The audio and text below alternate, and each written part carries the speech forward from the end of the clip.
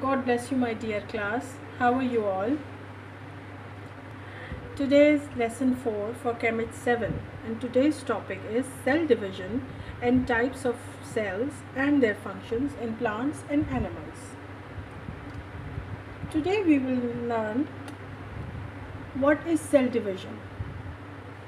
You know cell can increase in size when it grows. It grows larger to a certain size or you say to its maturity. Then its nucleus starts dividing and a nucleus divides into two smaller nuclei. Then the cell divides into identical smaller cells, each with a nucleus in it. This process of splitting a larger cell in two smaller cells is called as cell division. You see this diagram is showing the cell division. A single cell starts dividing making two nucleus, nuclei then finally two daughter cells and the daughter cell is just identical to the parent cell.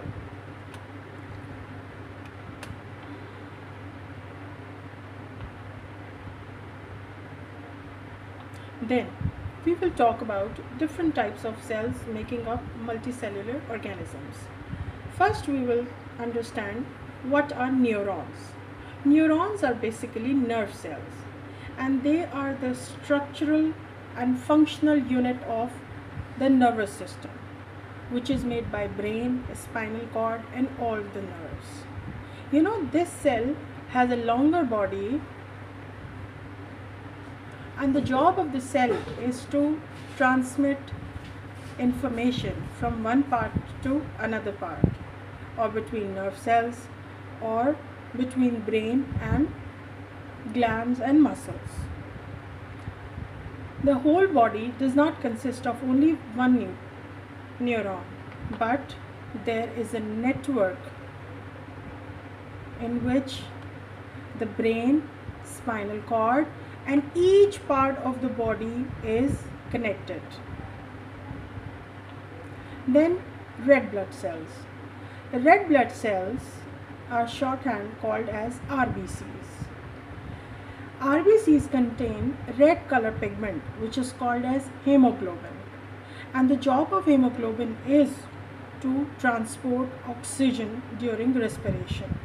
You see the RBCs are having a disc-like shape, oval shape and in this picture so many RBCs are flowing in a bloodstream or blood vessel.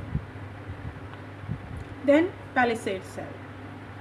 Palisade cell are basically cylindrically shaped cell which are found in upper side of the leaf. You see the cross section diagram of a leaf.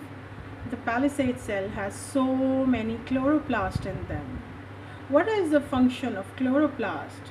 Chloroplasts have chlorophylls in them and the chlorophyll absorbs sunlight during photosynthesis.